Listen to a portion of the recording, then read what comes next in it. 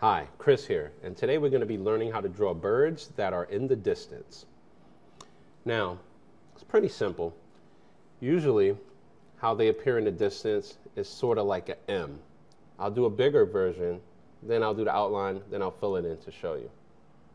So you figure you'd want to start from here, and you'd want to go and come back in. So from here, come out, and come out. Same thing. And that's that. Then you fill it in. If you look at it, it also looks kind of like a mustache. But it's a bird in the distance, flying. The reason I'm filling it in is so it has more depth to it. You can see it.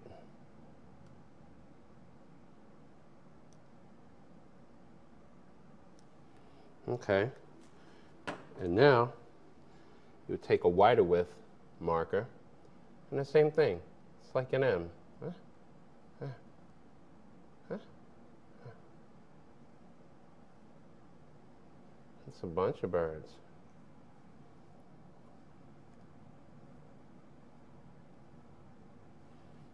These are birds flying in the distance.